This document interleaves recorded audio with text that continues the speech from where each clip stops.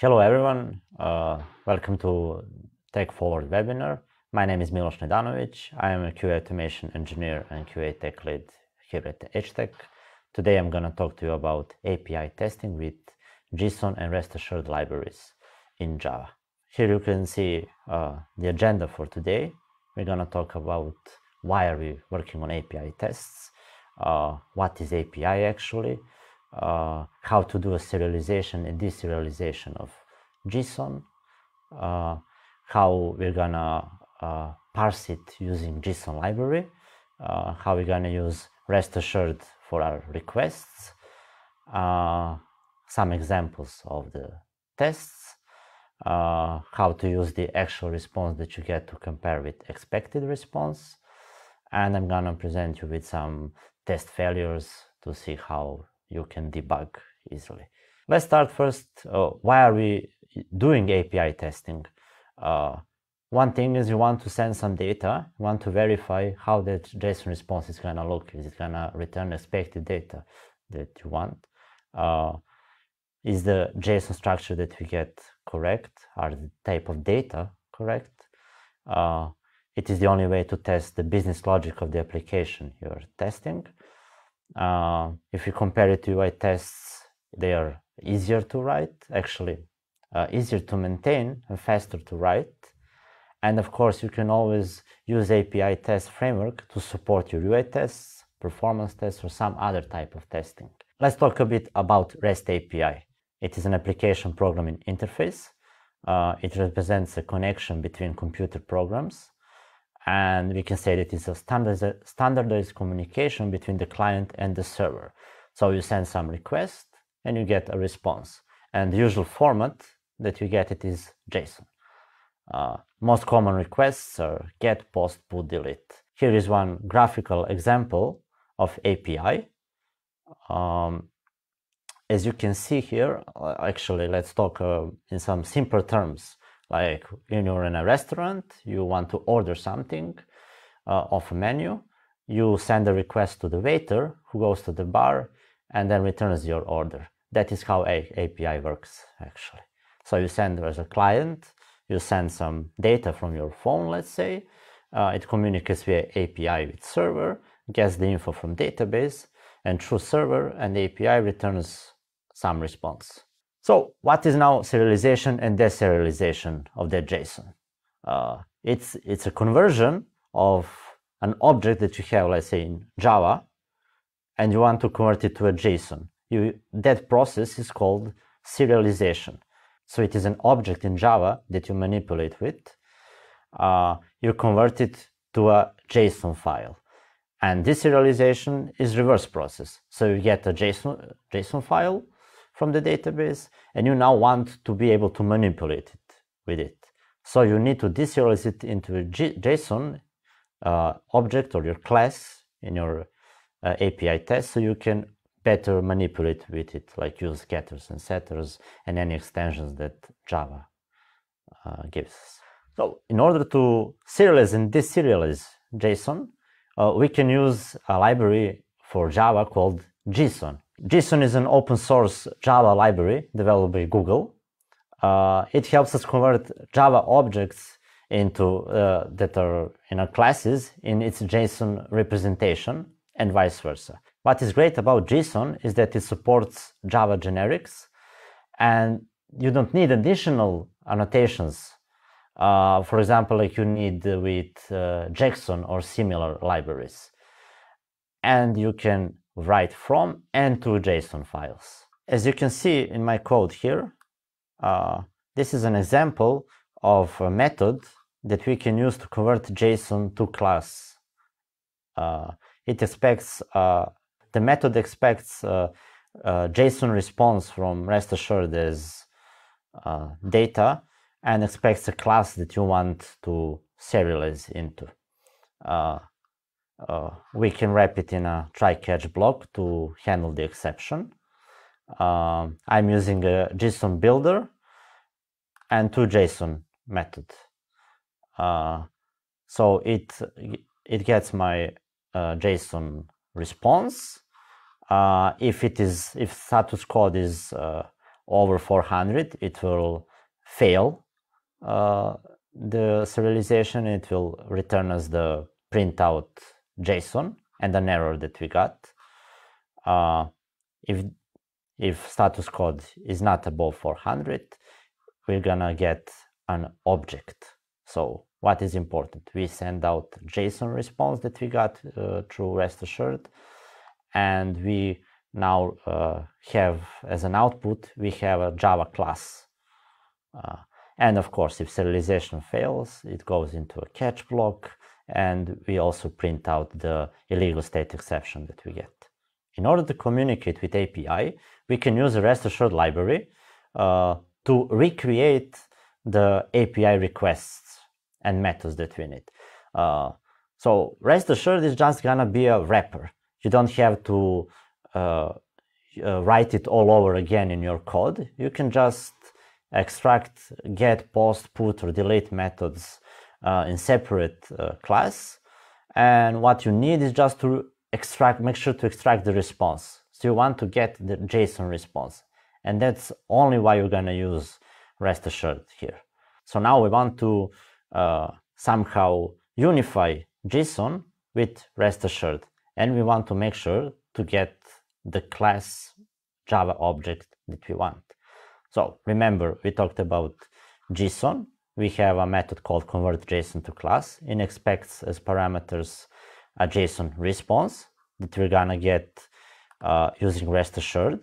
Like here is an example, we're gonna use post method, send some body, and send an API endpoint URL. And it's gonna be a REST assured. REST assured actually is gonna be a JSON response.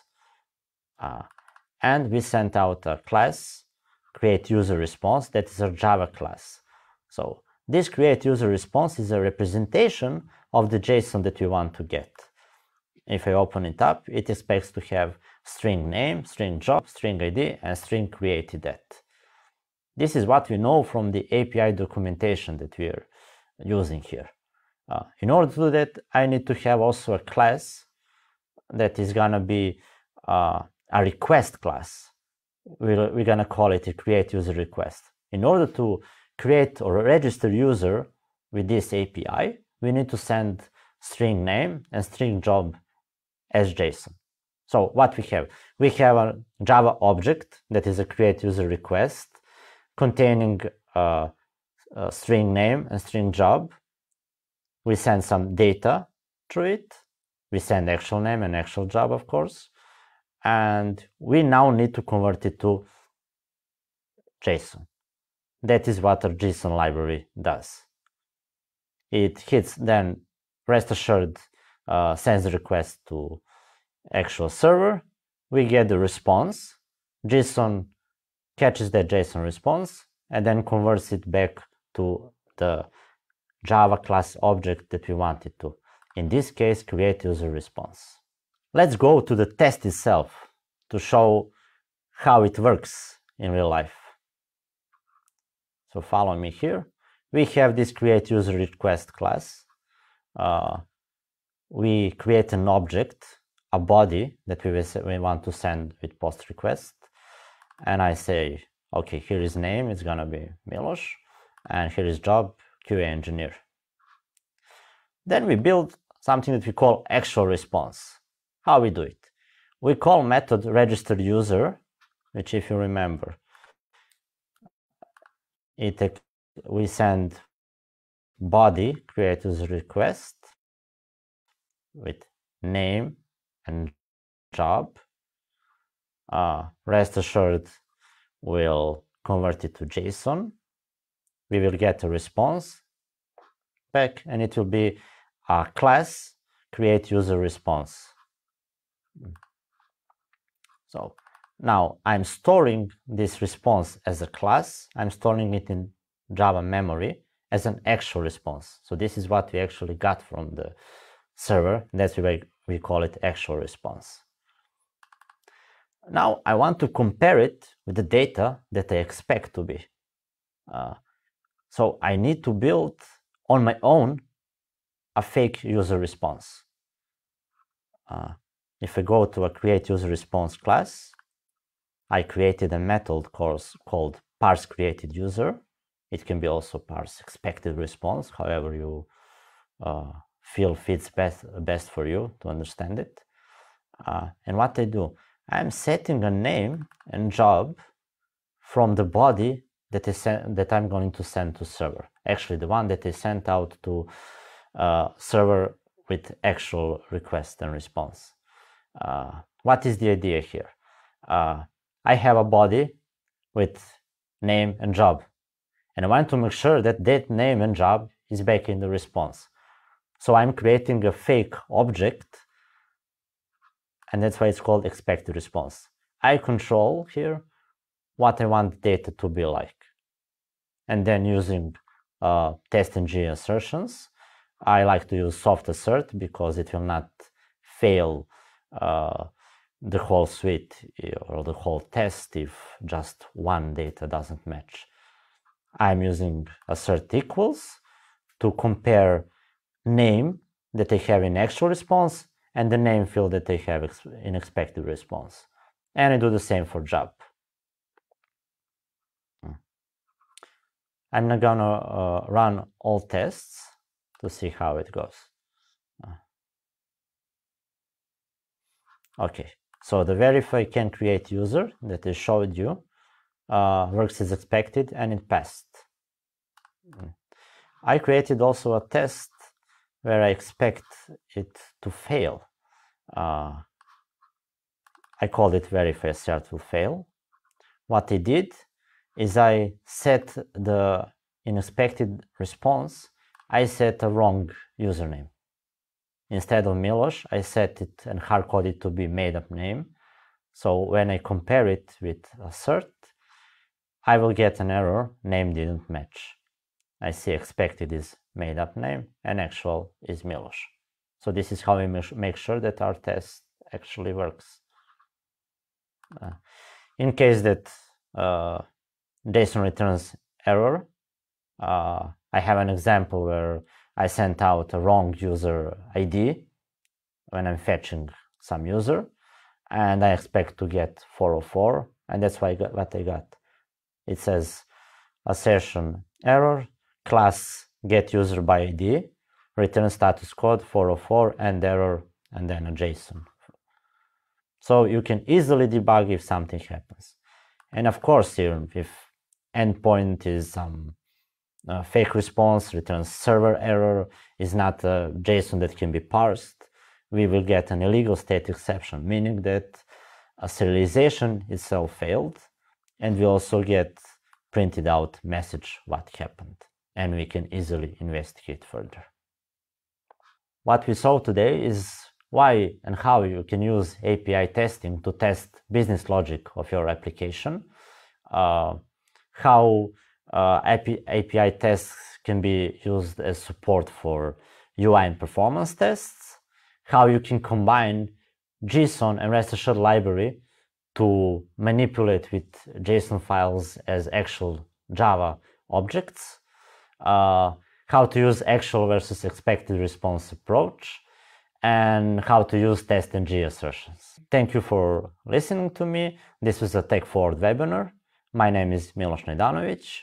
I'm a QA automation engineer and the QA tech lead here at HTEC. Stay tuned uh, for our Q&A session and hope to see you soon.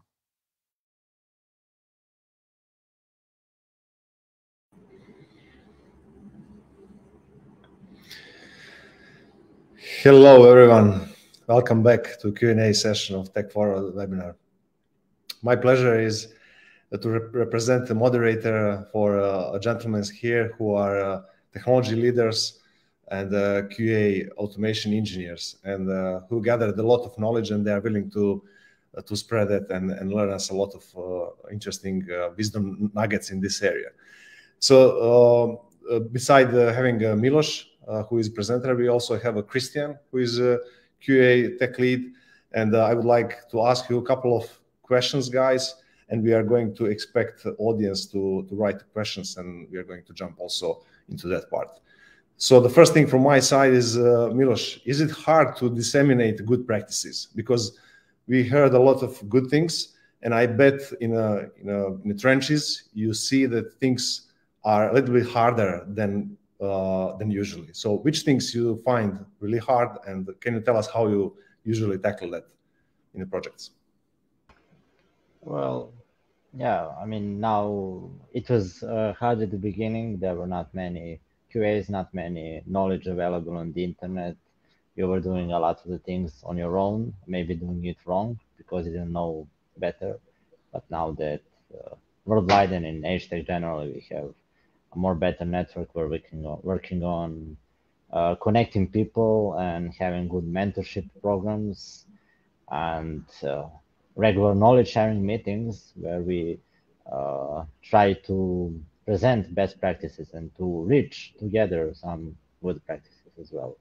And uh, from this, let's say from this Gson, and rest assured, the uh, libraries that we built our API tests uh, here with Kristijan on a project uh, called Queenix, we were able to build it now as a template framework uh, for everyone in the company who wants to use it. So uh, mm-hmm. it would be easy for everyone to set up project like in an hour or maybe less.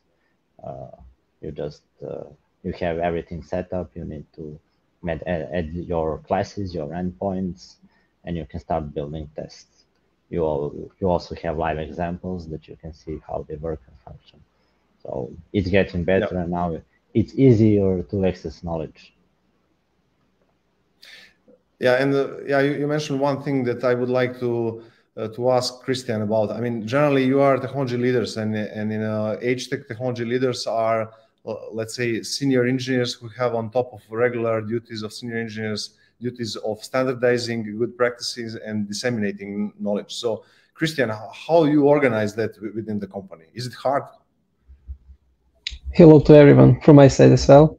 Uh, yes, yes, you are right. Uh, I mean, it's it's not too hard if you have a good uh, willing to do that. But uh, yeah, we have a lot of initiatives that we are working on in HTEC uh, globally, let's say and one of those is uh, JDP Academy, where where we are actually helping other people who wants to even do transition from some other technology or some other uh, mm, stack to our IT sector and to start participating in uh, QA automation. So we are helping people to learn new things and to join easily to uh, to our our QA stack and uh, other other processes that we are working in general uh, with people which are already uh, parts of our team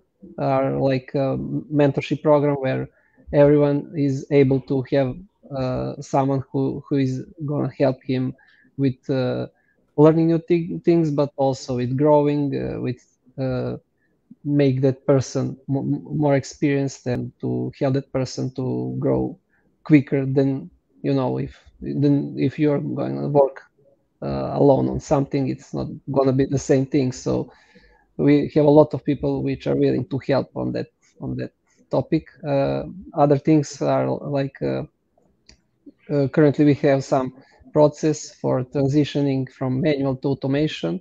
So we are uh, helping and encouraging people to uh, switch from manual testing to automation, and we are doing our uh, internal workshops and we are giving them lessons and all the stuff that needed for uh, helping them to easily switch to automation. And of yeah. course, there are other pro- processes like blueprints that Milos mentioned, like audit program where we are actually gonna have some group that is gonna revisit uh, tools, processes, everything that is used on different projects in HTEC and to help them to make better test frameworks and everything. Yeah. And of course, many other processes are in preparation and we have team meetings, workshops, talks about challenges and issues that we are trying to help people, but also to make others aware about solutions and issues that we are tackling, so everyone can know from where to find some some help.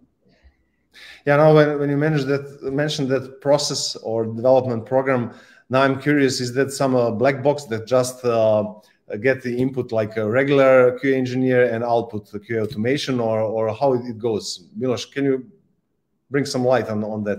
Is it magic or not? no, it's just uh, a dedication and motivation from people who want to become uh, automation people. Uh, so we just give them an opportunity for that. We give them uh, lectures because what I always say, manual QA engineer and automation QA engineer, the only difference is one is uh, programming automatic mm -hmm. tests. Everything else is the same. We do the same work exactly, and we have the same mindset. So now we want to provide to those people who want to learn automation and have maybe just basics in some programming language to get lectures on a weekly basis uh, for let's say three months and then uh, help them join projects where there is already automation set up so we and that development program is in internal HTEC, right yes. are you intending to make it in, uh, sometimes public who knows maybe or why not okay. i think it's a good program any learning initiative is yeah. okay for me. Yeah, yeah. Uh, now back to, to your uh, primary primary topic. So I mean, you, you mentioned uh, Gson as, as a library and which makes things easier, I guess. I mean, why Gson? And I mean, could you do it without it? Uh, we used to build API tests with only REST assured because it was uh, only viable and good library that had already built uh, HTTP protocols to communicate uh, through, through API, but there was always an issue accessing that response in data. Like you needed to know uh, exact path uh, to some data that you expect. Uh, it was harder to send data as well, and it, uh, you cannot manipulate with it, and it was difficult to assert things. You need to you you you will not able to reuse uh, as many things as we wish to. So when we were working working on our framework, um, we actually got an idea from Android developers on our project. They said we are using Gson, try it out. We know about some other libraries do the same. Uh, we tried Gson and it worked worked well for us uh, because it creates, like I said in presentation, it uh, creates uh, classes it puts responses in your classes, they have attributes. Uh, it converts everything that is just a JSON file into something that uh, programming can be done upon. It is a Java attributes, Java classes, and then you can do whatever you want. You can wrap it in any method, uh, change data, assert data, and anything else. it's it's now just programming. You yeah. can easily compare, assert, actually so one program test another program right yes okay.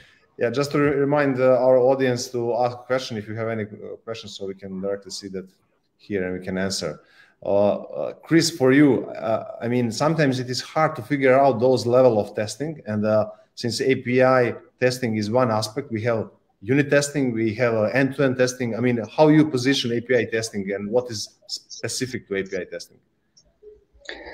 Yeah, uh, in globally, first we could say that uh, awareness of automated testing has increased significantly in recent years, and uh, it's really nice and great to hear from management that you have a green light to do whatever you you actually can and would like to do in order to make uh, uh, your application more stable, more quality, and so on. So, if we are talking about our uh, our client for which Milos and I are working for the last three years, uh, we actually set one goal there, and it's to decrease regression time to zero. And uh, they recognize is, that that is courageous goal, I must say. I mean, it is yeah, really high standard. Yeah. yeah, it's really high standard, and they recognize that it's really important to uh, put all power that we can to achieve that. So basically, what we did there and what we saw as uh, obvious flow for doing this is first to cover application with some light API tests that are gonna be really fast and that we that will only uh, validate response structure, uh, uh property types, uh, uh, that required properties must have value and so on. And obviously we could do that on both mobile and, and uh, web APIs because there is no difference. Both are services. So from backend perspective, it's, it's the same and we covered both. Next step was to start writing functional backend tests that are really going to test logic be, behind the scene and it will be also faster than UI tests and easier for maintenance. So uh, after we finish that, then we we actually can say that most of logic, if the case is that logic is uh, laid on uh, backend side, most most uh, logic, the biggest part is covered, and we can say, okay, our logic is working fine or not. But of course, without UI perspective or end-to-end tests, we cannot be 100% sure that uh, regression is reduced to zero and that we can just run tests and say that everything works fine. So at least we uh, we need to write uh, some basic or the most critical or the most used functionalities to cover them with end-to-end tests be because we cannot cover all regression uh, functionalities.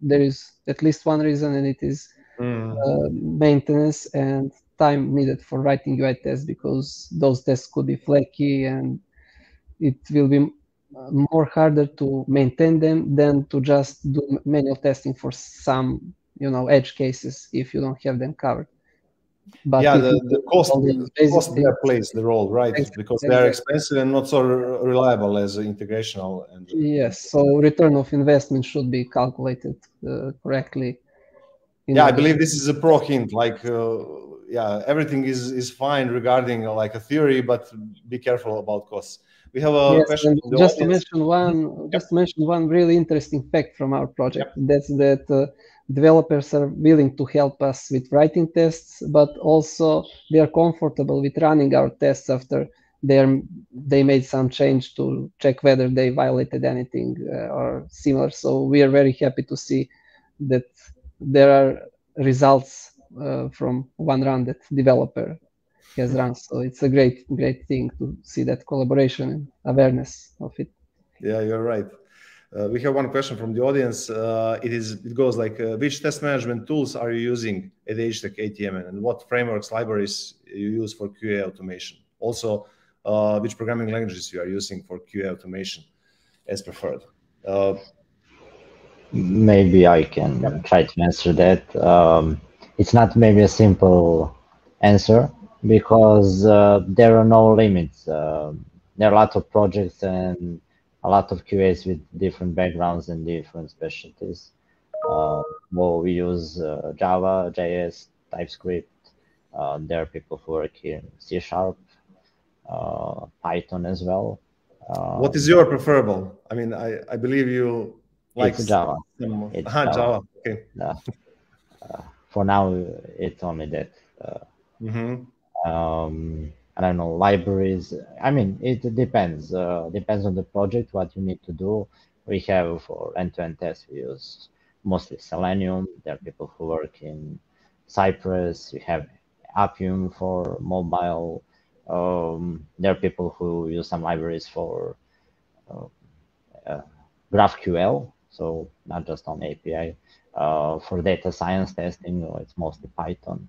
Um, it's really difficult to answer this one because as a company we don't have that uh, mindset that you should do only one thing you do what's the best. I mean even in our project we uh, have a javascript um, k6 tool um, for performance testing because that was what we needed. That was what uh, served this pur- purpose for our project. There are a lot of pro- projects that use gatling in scala even if their project is in javascript from java. Uh, but it is not expected from one person to know everything, right? It is if I'm a junior QA automation engineer, I would say I have a primary language, and after that, I'm going to learn more if I if well, I found use cases in projects.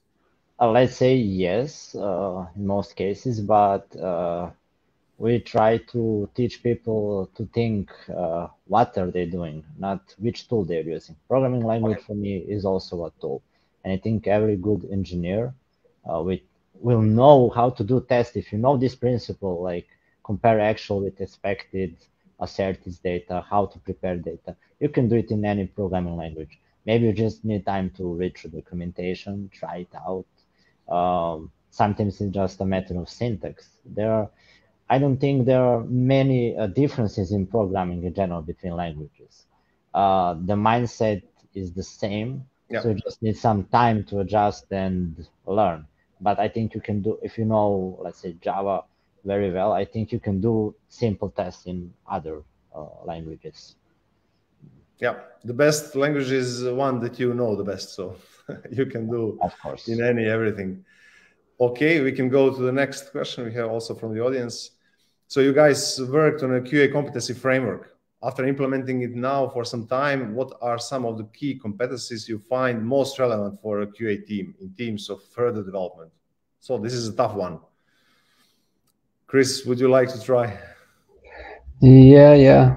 If if we have more time to think, the answer will be probably better. But on the first glance, uh, definitely something that probably is lacking to a lot of QAs is um, not only testing of API or end-to-end, but also I think that really important aspect is performance testing and security testing. Okay, some some clients uh, there are actually companies that are providing, uh, for example, security testing, penetration testing, and some companies, some clients are using those.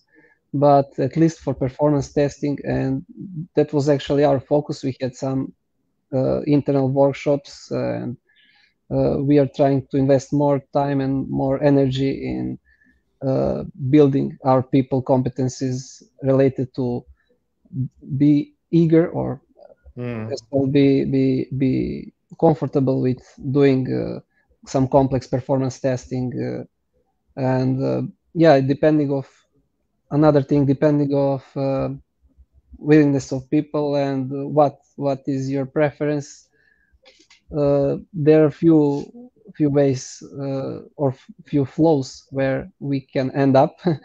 One is to continue uh, you know in technical aspect and to become really an engineer and an architect solu- even solution architect but related to qa qa world for example another way and a lot of people from qas from qa department uh, are lately focused on um project management or product owner uh, role because you know QA is someone that knows complete uh, project that have you know wider aspect uh, or view of projects. So in most cases, it happens that naturally QA take more and more responsibilities and more and more roles and become become uh, product owner, product manager, and that's why I said if we consider different competencies, it could be either those uh, leadership or it could be those technical Mm. where i mentioned performance security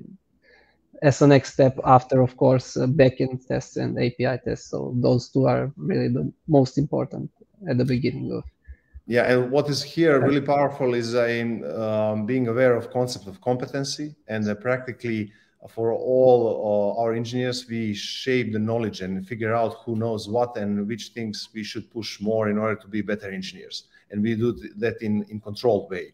And that is really powerful mechanism because i mean just um, going through the projects uh, you can exercise similar things again and again and again and uh, you as a tech leads uh, help engineers to practically make weaker things stronger in order to have a, a better pro level of service to toward our clients. Okay, next question. We have a lot of questions, so I'm, I'm trying not to rush too much, but I would like to address as more as we can. Why not simply use pre-built the RestAssured method for this realization? Miloš, any idea?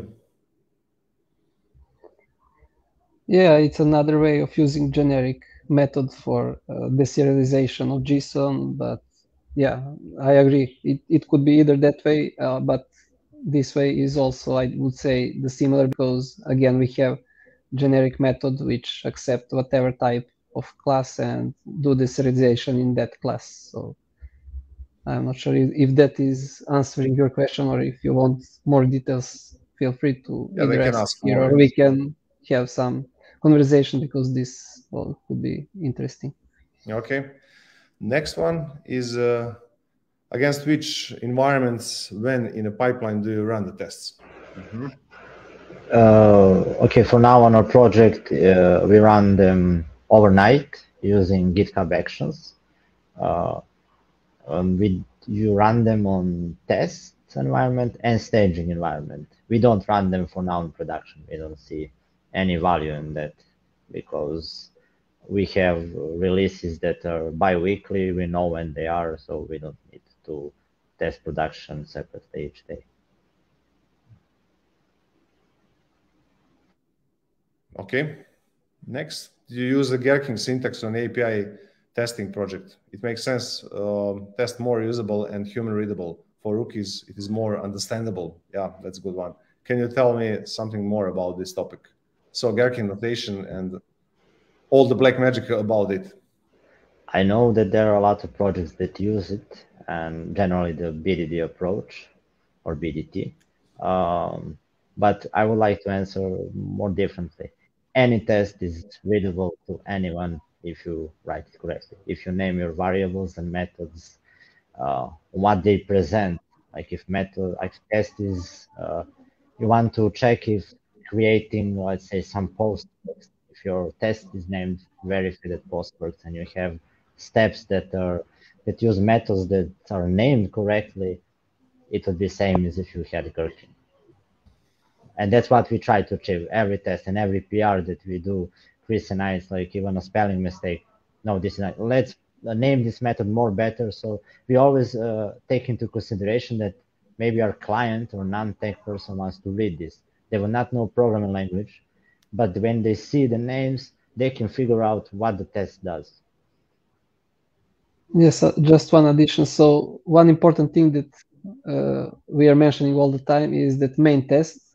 Uh, if you look at the main test for the first time, you should be able to read it, and you should be able to do uh, to repeat it manually in application if you want to do manual testing. Just by looking in, in the structure of main test, you should be able to repeat that. So it should be, it should look uh, almost the same as test case, and that's that's something that Gherkin is also doing, but on the other way. Okay, and I believe we have uh, time for one more question. So Miloš said that the uh, Gson is easy to access and manipulate with JSON data. Uh, using only RestAssured is hard. Does it mean if it is using Gson, I'm able to avoid uh, manual creating data transfer object class in object mapper to populate them? it's not that it is hard only using RestAssured. It's not just about data. Um, you can you can avoid, but you always need to prepare data. That is the point of QA. That is your work. You need to prepare data using. Uh, let's say I will more say that with RestAssured, it's not as easy to manipulate with them.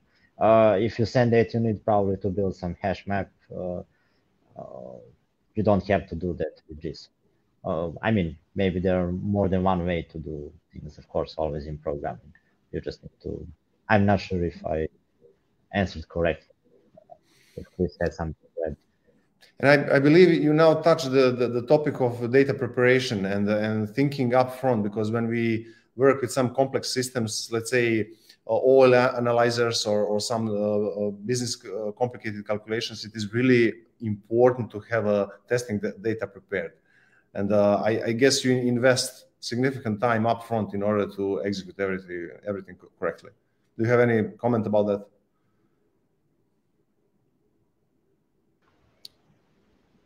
Well, or it is just hard.